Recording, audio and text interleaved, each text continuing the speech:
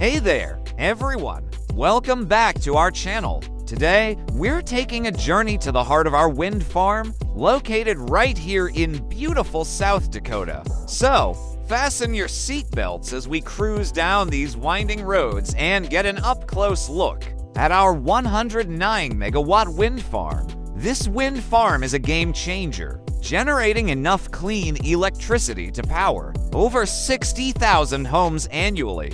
In just one year, it reduces carbon emissions by an impressive 245,000 tons. That's equivalent to planting 5 million trees. Our wind farm is not only good for the environment, but also provides opportunities for local communities over the lifetime of this project. It's estimated to provide over $78 million in local income.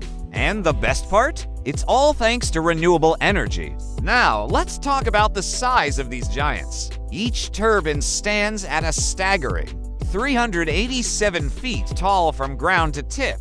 That's taller than your average two story home. But remember, they must be big to generate the most energy and power our homes efficiently. Thanks for joining us on this windy adventure. If you enjoyed this video and want more content like this, please don't forget to like, share, and subscribe. Stay tuned for more exciting updates on our wind farm and other eco-friendly projects coming soon. Until next time, take care and stay green.